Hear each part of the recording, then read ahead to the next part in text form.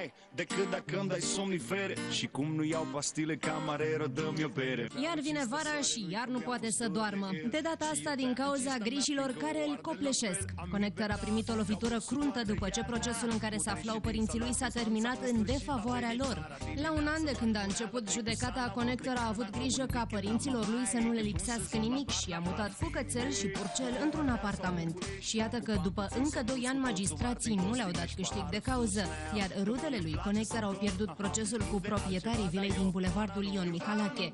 Nu numai că rudele artistului au pierdut casa din centrul capitalei, dar s-au trezit peste noapte datori vânduți. Trebuie să plătească daune în valoare de aproape un miliard de lei vechi.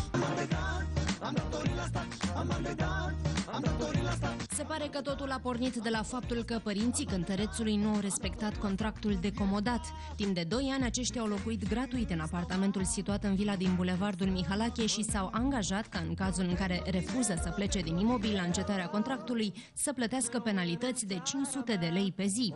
Și cum familia cântărețului nu s-a grăbit să se mute, instanța a stabilit că trebuie să plătească daune pentru 5 luni și jumătate.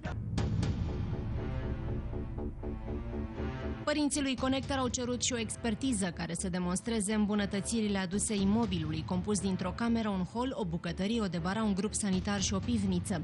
În urma acesteia, proprietarii au fost obligați să le achite rudelor cântărețului suma de 1981 de lei. Părinții cântărețului își duc traiul simplu de pe o zi pe alta și își câștigă existența din vânzarea ziarelor la o tarabă situată chiar vis-a-vis de vila cu pricina. După decizia magistraților, familia lui Conector poate face recurs în 15 zile.